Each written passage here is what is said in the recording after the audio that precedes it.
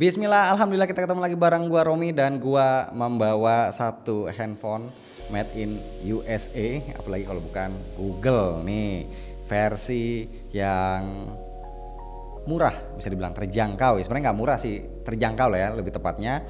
Uh, ini datang dari toko langganan gua dari Gondre Store kemarin pas weekend. Cuman karena nggak sempat bikin akhirnya baru bisa bikin sekarang. So langsung aja kita gas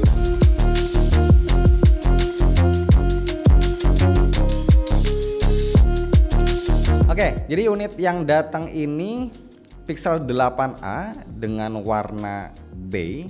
Jadi Pixel 8a itu warnanya ada hitam, terus porselen yang putih, terus ada B ini biru sama ada apa ya kayak hijau gitu ya kalau nggak salah hijau muda. Nah, gue pilih yang warna biru karena ini birunya beda dari Pixel 8 Pro ini birunya lebih menurut gue ya ini kelihatan lebih mewah ya, lebih gelap. Langsung aja deh kita buka. Nah, ini penampakannya.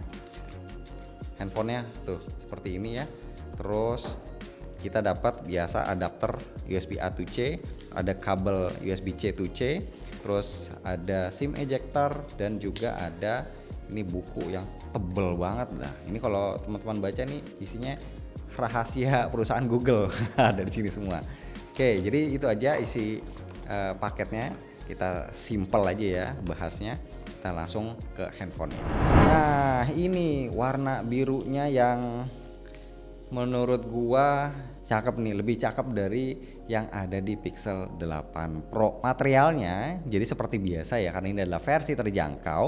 Jadi untuk bagian belakangnya, nah ini kalau diketok berasa lah ini dari polikarbonat. Tulangnya ini masih dari aluminium. Jadi feelnya itu masih ya cukup mewah lah. Ya nggak kayak handphone murahan banget lah. Terus di bagian framenya juga ini dia pakai warna biru tapi dibikin uh, glossy. Jadi kalau kena cahaya itu agak-agak mengkilat ya karena bahannya bukan plastik. Terus IP rating ada seperti biasa ya untuk A series ya itu ada IP67 dan layar ini terproteksi Gorilla Glass 3 yang gue lihat ya dari beberapa video uh, orang lain yang sudah ngebahas Pixel 8 nah ini adalah permasalahan di bezel. Nah, kalau menurut gue ini mungkin bisa dibilang bezel yang bikin kezel. Nah, nanti teman-teman bisa lihat sendiri kita lagi booting dulu sambil menunggu kita body tour dulu ya di bagian atas. Di sini ada frame antena, eh frame antena, garis antena ada dua, terus ada mikrofon di bagian bawah ada grill speaker, ada port USB-C, di sebelah kiri handphonenya ada slot kartu untuk nano SIM dan di sebelah kanan ini ada tombol power dan juga ada tombol volume. Ada garis antenanya juga. Nah, ini dia handphonenya tuh ya. Kita coba lihat yang eh, backgroundnya tes warna putih ya. Ini kalau warna hitam nggak terlalu kelihatan, tapi kalau warna putih Nah tuh ya warna putih langsung kelihatan bezelnya tebel. Dan ini sebenarnya nggak cuma tebel ya tapi juga bisa dibilang tidak simetris karena bagian bawahnya ini lebih tebal sedikit lebih tebal dibanding bezel atasnya. Udah jadi kayak kita ngeliat handphone-handphone China ya mungkin kayak Realme atau mungkin Samsung ya yang entry level oke sekarang kita ke menu settingnya kita lihat kita aktifin dulu ya Nah, ini dia sudah support 120 Hz. Jadi ada pilihan smooth display. Ini karena buatan Google jadi harusnya sudah versi terbaru Android 14 dengan security patch-nya di Mei, update banget ya, Mei 2024 dan FYI ini dapat update uh, eh, 7 tahun baik untuk versi OS-nya dan juga untuk security patch-nya. Jadi walaupun versi terjangkau tapi update OS-nya nggak main-main ya. 7 tahun bisa-bisa handphonenya rusak duluan atau hilang duluan ya sebelum waktu update-nya udah keburu habis. Nah dengan wallpaper yang warnanya lebih terang jadi kita semakin bisa melihat keindahan bezelnya ini ya. Ya mungkin butuh sekitar 1-2 hari lah ya untuk mulai terbiasa melihat pemandangan yang kurang mengenakan seperti ini. Oke, nah ngomong-ngomong untuk layarnya dia dimensinya masih sama seperti Pixel 7a. Jadi eh, size-nya itu 6,1 inci. Kalau Pixel 8 biasa itu kan 6 inci. Nah, ini 6,1 inci.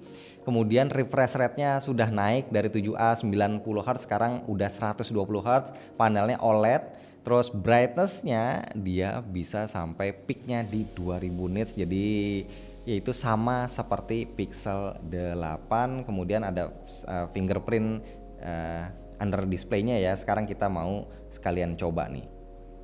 Wah cepat sih ini. Wah mantap. Sip. Jadi untuk sensor fingerprintnya ini cepat dan akurat. Kalau mungkin ngerasa ya uh, layarnya kurang sensitif. Nah di sini di menu display ada pilihan uh, fitur namanya screen protector mode. Nah, jadi increase touch sensitivity and improve touch when using a screen protector. Jadi kita tinggal aktifin aja ada di menu display setting. Oh ya, by the way, ini versi yang basic ya 128 ya namanya juga versi terjangkau. Jadi sudah terpakai itu bawaannya 15 GB jadi kira-kira ya yang bisa kita pakai sisanya itu adalah sekitar 118 GB. Nah, untuk memastikan apakah layarnya juga support HDR atau enggak, kita tes putar video HDR di YouTube dan yes, ternyata support. Itu bisa sampai 2160 ya dengan opsi HDR-nya aktif. Kita akan melihat dengan brightness juga kalau di luar bisa sampai 2000 nits. Ini ya enak ya layarnya ini. Spesifikasinya bisa dibilang ini udah papan atas lah walaupun penampilannya papan bawah Oke, biar lebih pasti lagi kita lihat Netflix. Nih, playback specificationnya sudah Widevine L1 uh, Full HD ya resolusinya dan HDR capabilitiesnya bisa HDR 10. Jos gandos mantap. Oke, sekarang kita coba untuk keyboard ya. Uh, ini keyboardnya untuk dipakai ngetik enak banget vibratnya juga tactile banget. Jadi aman dan sekarang kita coba untuk speakernya.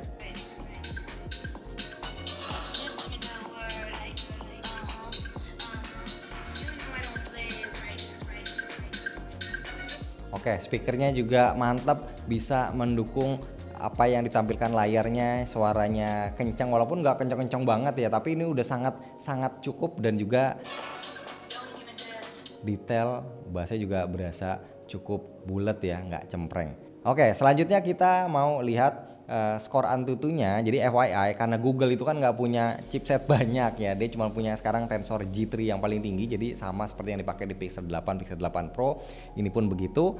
Kita lihat ya, Antutu benchmarknya. Nah, ini skornya dapat 1.079.000, jadi hampir 1,1 juta. Yang mana ini adalah skor yang cukup gede ya, dengan rincian CPU skor 316.000 dan GPU skor 389.000 untuk RAM-nya di 8 GB untuk storage-nya versi ini ada 128 dan ada juga versi yang tertinggi 256 tapi kayaknya jarang deh yang 256 ya.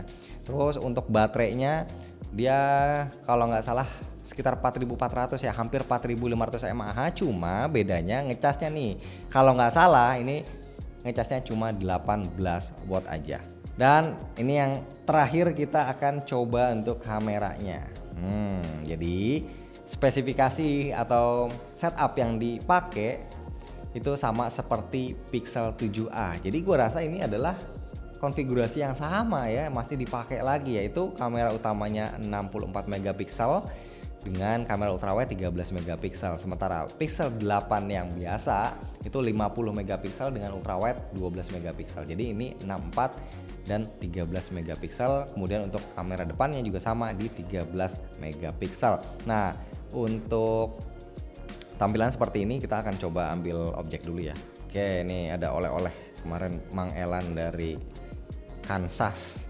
Dari acara Garmin ya dapat oleh-oleh ini. Wih kita pakai buat foto. Nah jadi interface-nya ada kamera nih 0,5 alias ultra wide ada satu kali dan juga ada dua kali digital zoom. Maksimum zoomnya bisa sampai 8 kali aja Google nggak mau ngasih lebih takut hasilnya buruk gitu ya. Terus untuk mode-modenya wah ini ada long expo dikasih ya mantap.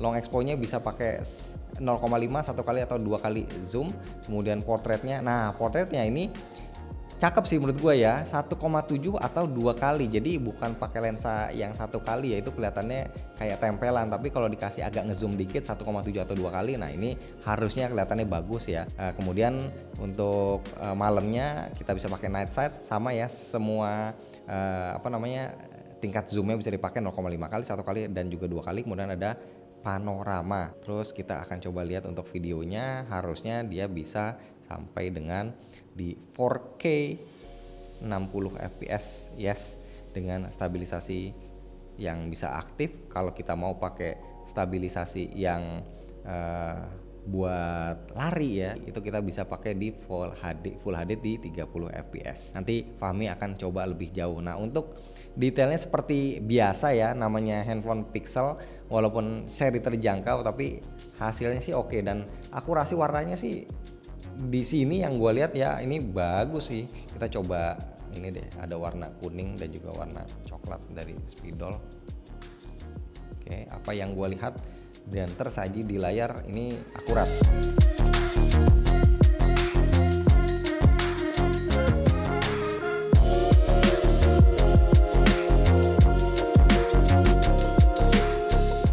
Rekaman video kamera belakang Pixel 8a 4K 60 fps oke ini gue jalan cepet nih oke. Dengan ya sebenarnya panas sih cuman langitnya flat aja jadi nggak terlalu kelihatan nih dynamic range nya kita coba lari yuk. Oke.